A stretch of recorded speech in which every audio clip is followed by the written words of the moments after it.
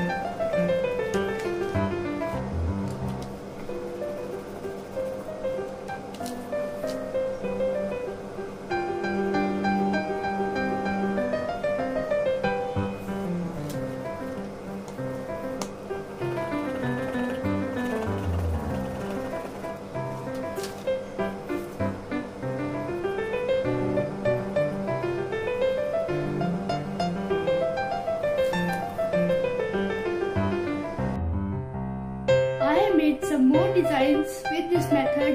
Let's have a look.